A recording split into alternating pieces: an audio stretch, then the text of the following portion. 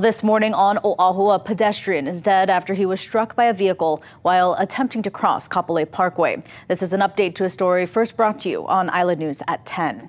Police say a 66-year-old man was not in a marked crosswalk when he was struck by a vehicle. The driver, a 52-year-old man, was traveling westbound on Kapolei Parkway approaching Kunehi Street. The driver of the car remained on the scene. The investigation is ongoing, but police say speed may have contributed to the collision. This is the 16th traffic fatality on Oahu this year.